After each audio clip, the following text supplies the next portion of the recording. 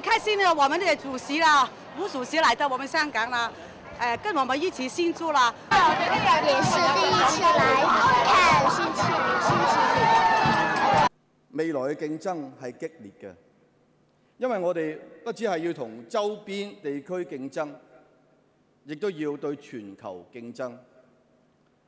但係只要我哋嘅專業精神冇變到，我哋就唔需要對自己感到懷疑。係一個專業、有經驗、有活力嘅政府。透過今年發展嘅今年今年發表嘅綠皮書，我哋會同市民一齊咁摸索，尋求最有利香港、最廣為民眾接納嘅普選模式。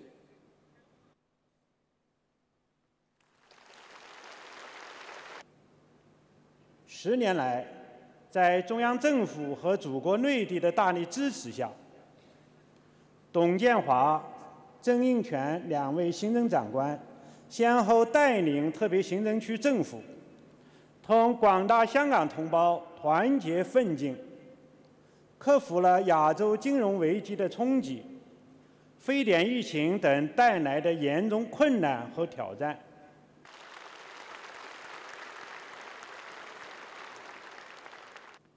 今天的香港，社会保持稳定，经济更加繁荣，民主有序发展，民众安居乐业，展现出一派欣欣向荣的景象。事实无可争辩地证明，一国两制的方针是完全正确的。香港同胞完全有智慧、有能力管理好。建设好香港，伟大的祖国始终是香港繁荣稳定的坚强后盾。要维护香港特别行政，只要我们遵循香港特别行政区基本法有关规定，就一定能够推动香港政治体制循序渐进地向前发展。第三届政府就职典礼礼程。请各位起立。